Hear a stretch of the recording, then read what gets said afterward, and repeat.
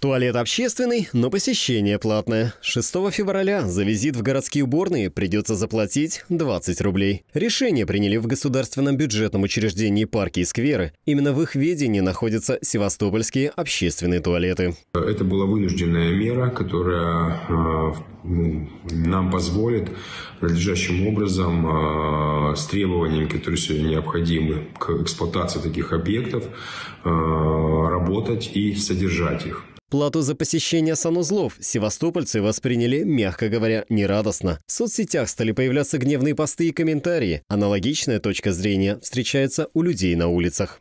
Вредная задумка и ненужная. Туалет – это наше общество, понимаете?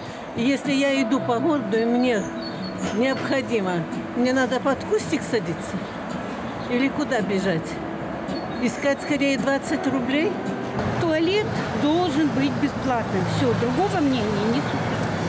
Многих севастопольцев смущает даже не сумма, а именно способ оплаты. Не секрет, что чаще всего в уборной дежурит бабушка-администратор, которая принимает деньги только наличными. Мне не нравится.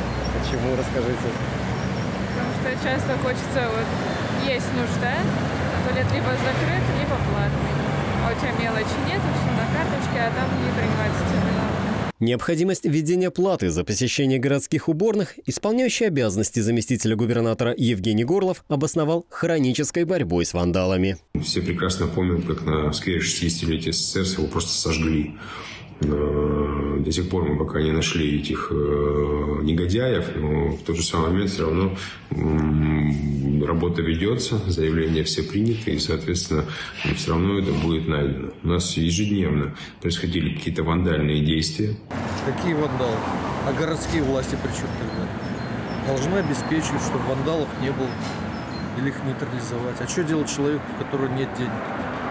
Куда ему ходить? За угол, что ли? Съемочная группа НТС решила узнать, что из себя представляют общественные туалеты в нашем городе по состоянию на февраль 2023 -го. И первым объектом для проверки стала уборная на Приморском бульваре, которая оказалась закрыта на ремонт. Внутри рабочие меняют перекрытие между кабинками. Снаружи устанавливают новые окна. Следующий клозет на площади Ушакова. Здесь милая пенсионерка любезно взяла оплату за сервис. Внутри чисто, но если сравнить состояние уборной с теми же туалетами на автомобильных заправках, заправках небо и земля, как говорится. А вот туалеты в скверах имени Марии Байды и имени Анны Ахматовой оказались открыты и по-прежнему бесплатны. Как нам ответил один из охранников, 20 рублей начнут взимать с апреля, но это скорее его предположение. Стоит отметить, что среди опрошенных горожан на улицах были и те, кого не сильно волнует тема общественных уборных.